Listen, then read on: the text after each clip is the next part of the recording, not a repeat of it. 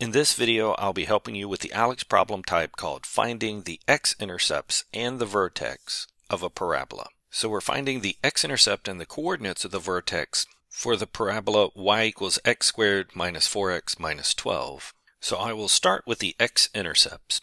And we know that the x-intercepts have a y value of 0. I added the graph here to show that this is where our graph will cross the x-axis when y equals 0. So we can take the formula for our parabola, set y equal to 0, and from here we can solve for x by first factoring the quadratic on the right hand side. Since the leading coefficient is 1, we know that this will factor with an x and an x. And we know that our factors for 12 are either 1 and 12, 2 and 6, or 3 and 4. And since we need the middle terms to add to a negative 4, I can see that using a negative 6 and a positive 2 will be the right combination. So I'll write this as x plus 2 and x minus 6. And we now have two factors being multiplied with the result of 0. That means that one of those two must be 0. So either x plus 2 must be 0 or x minus 6 must be 0. From the first, we can subtract the 2 over, and we have x equals negative 2 as an intercept. I'll go ahead and represent that on the graph.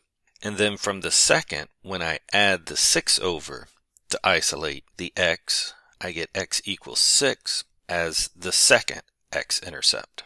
So our two x-intercepts are negative 2, 0, and 6, so our two x-intercepts are negative 2 and 6.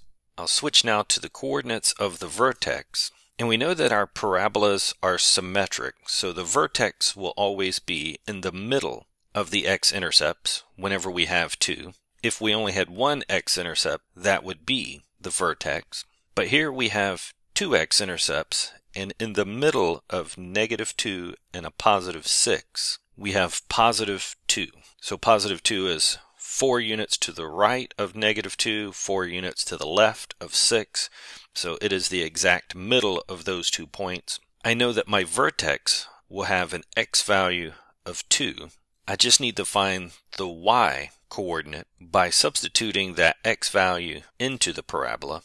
So doing so, I would have y equals x squared. Here our x is 2, so 2 squared minus 4 times x, so 4 times 2 minus 12. We can simplify on the right, 2 squared is 4. Minus 4 times 2 is a minus 8 minus 12. So again, simplifying y equals 4 minus 8 is negative 4 minus 12, a negative 16. So our coordinate would be 2, negative 16. We weren't asked to graph, but it would have this sort of shape where the coordinate of the vertex is 2, negative 16, and with the two intercepts we found earlier.